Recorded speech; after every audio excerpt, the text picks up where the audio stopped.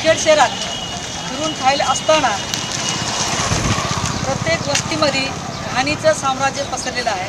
हे काही चांगली गोष्ट नाही. समाजाच्या आरोग्याच्या दृष्टिकोनातून हे वाईट आहे. कारण का घाणीवर मच्छर तयार होतात. मच्छर तयार झाल्यामुळं माणसाला चावून मलेरियाची साथ निर्माण होते.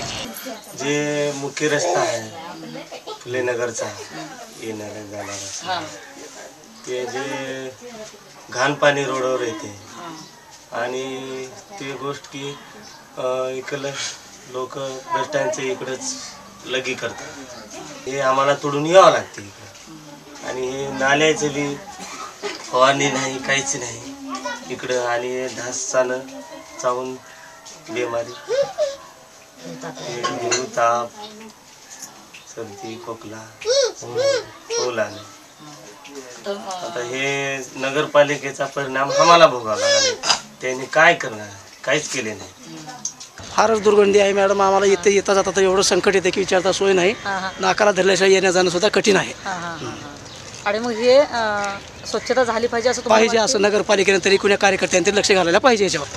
वारंवार सूचना करूनही नगरपालिकेनं कसलाच अ, म, अ, प्रकारचा या पर्याय अ, या नगरवासियांना केला नाही फुलेनगरच्या लोकांना.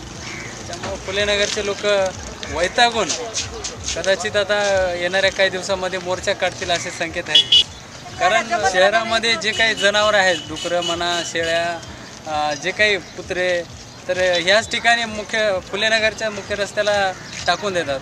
आणि त्याचा जे क- घात आहे त्याचा जे काही दुष्परिणाम आहे प्रदूषण आहे ते फुलेनगरच्याच लोकांना म, सोसावं लागत आहे. नगर परिषदेच्या मुख्याधिकारी मोतीकर साहेब यांना बावीस पंचवीस आणि बासष्ट फोन नंबरवर आरोग्याच्या संदर्भात सांगावं असं सूचना मी करतो. मी शांता येवतीकर इंडिया अनहारसाठी नांदेड.